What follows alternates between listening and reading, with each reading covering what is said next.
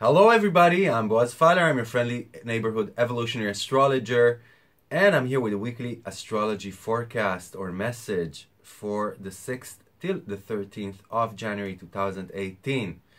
I know that a lot of you in Europe, in Israel, in the Middle East, and in the States are chilling them bums off. I know that there's extreme cold weather in most places, and if any of you joined uh, our OPA Live session that talked about Jupiter in Scorpio, I think it was a month and a half ago, I was talking about extremely cold weather. We've been experiencing record cold weather also in the last time and the time before that when Jupiter was in Scorpio.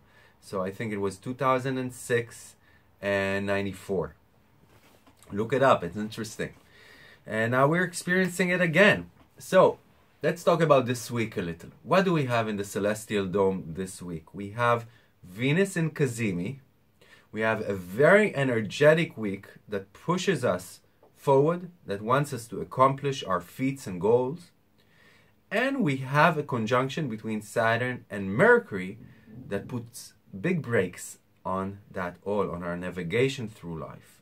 So we have a contradictory effect. On the one hand, a need to go forward faster. On the other hand, somebody's pushing the brakes. And we're going to talk about that. and of course, Venus in Cazimi. Venus in the heart of the Sun, a conjunction of Venus, Pluto, and the Sun. So let's begin saying that between the 6th and the 9th, Venus is already considered in the heart of the Sun. This is a time that her attributes are heightened. And if you want to make a visualization or any kind of ceremony, I would advise that you do it on the 8th or on the 9th when that conjunction is exact.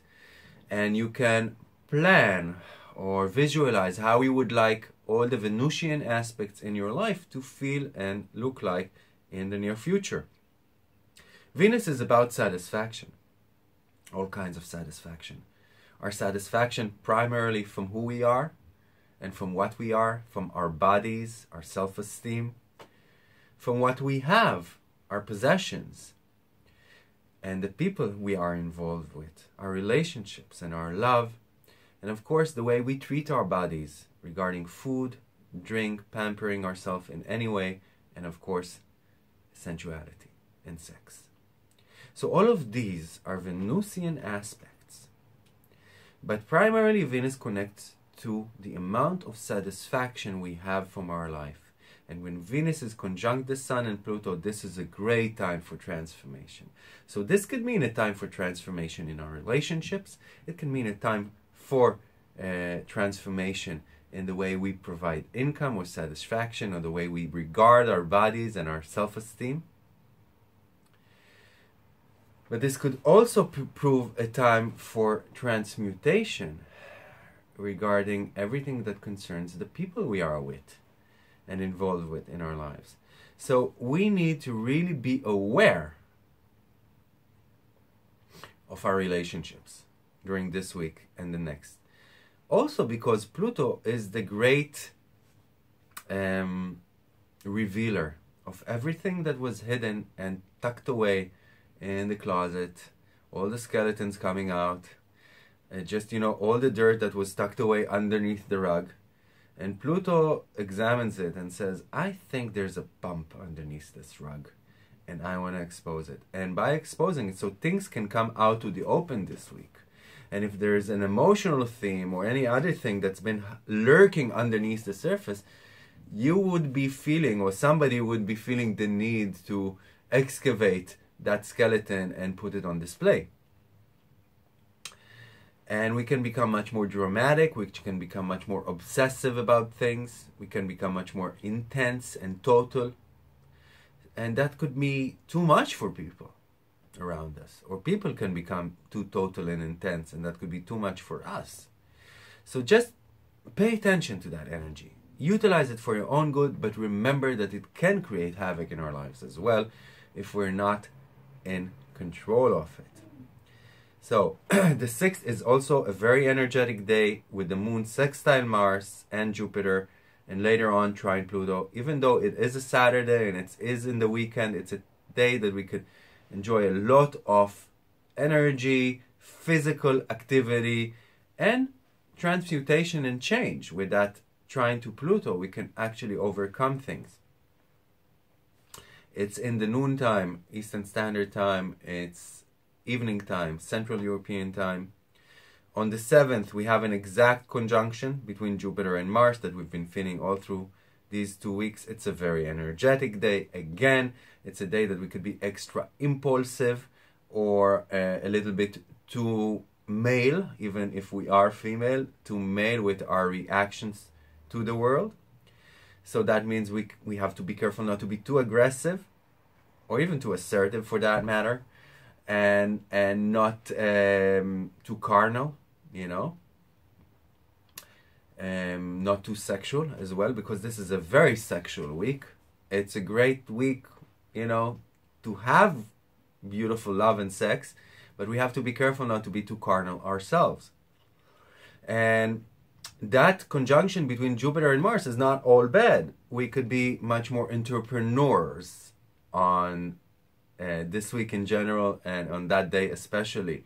We could be much more forward oriented and action oriented and very decisive with our actions. We can take things forward. But in the evening time, Central European time, and noontime onwards, uh, let's say morning noon, uh, Eastern Standard Time, the moon is going to square Saturn.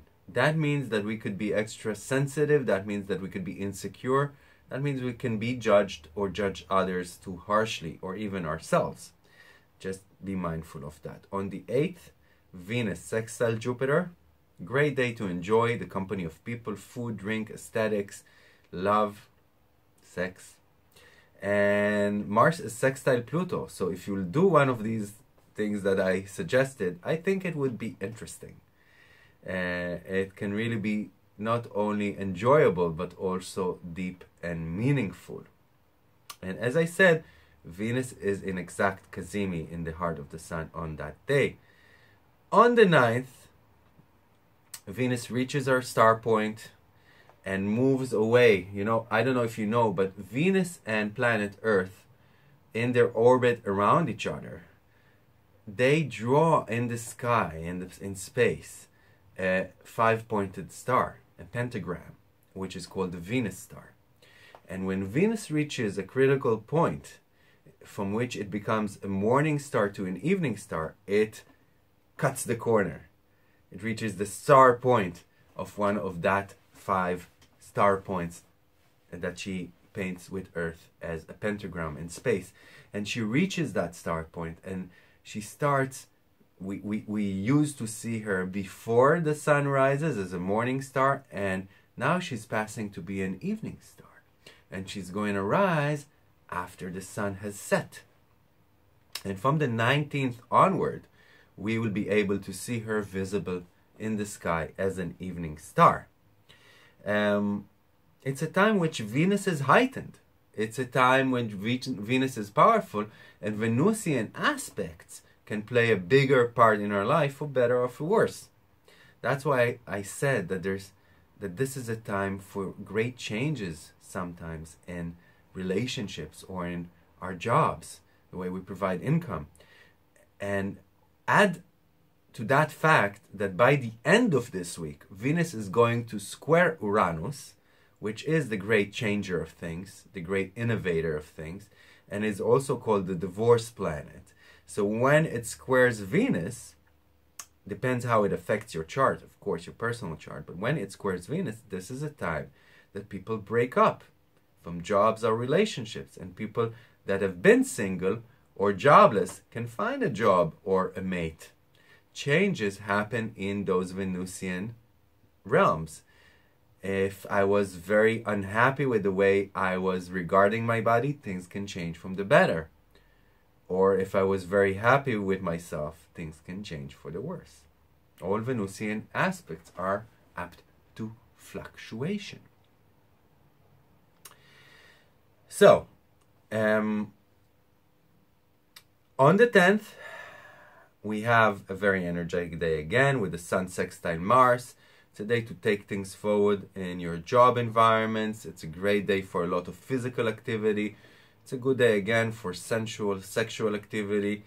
And we could be a little uh, more uptight or angry on that day. You know, a lot of sexual energy, a lot of Martian, Martian energy can make us. Um, you know, I had a client talking to me over the last week saying, "Oh my God, you know, I'm I'm oversexed on the one hand, and I'm really mad on the other. Like like I feel like I'm agitated, and when that pent up energy is accumulated, that's what we feel. We either feel over sexualized or just too intense and angry.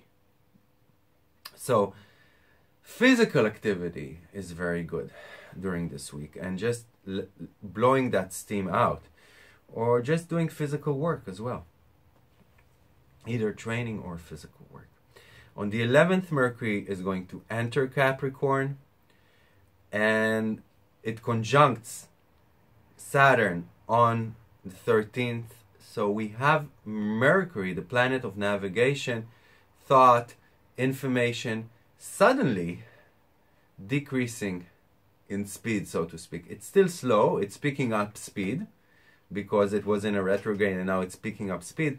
But metaphorically speaking, when it conjuncts Saturn and goes into Capricorn, it's like this heaviness comes upon it.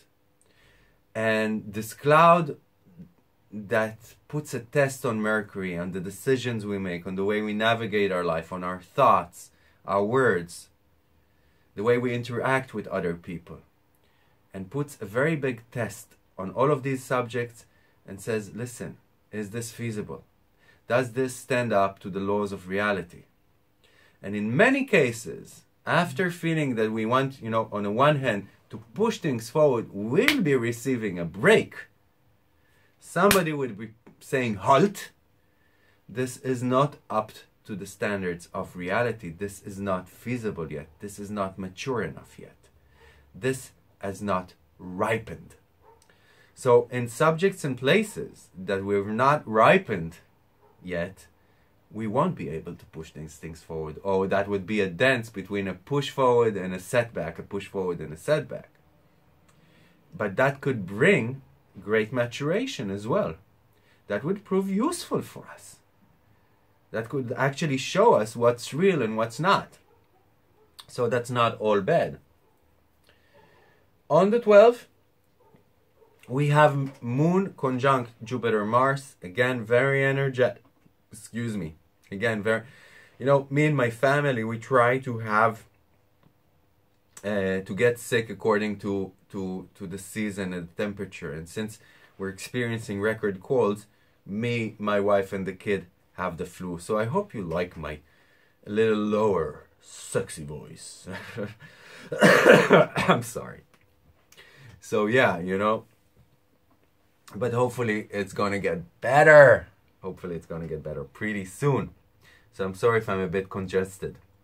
So the 12th is a very energetic day, and the 12th is a wonderful day to enjoy yourself with the company of people, food, drink, aesthetics. Again, because the moon is conjunct Jupiter and conjunct Mars, and just be careful not to be too extravagant, not to seem to people like you think you're omnipotent or too proud, and be sensitive.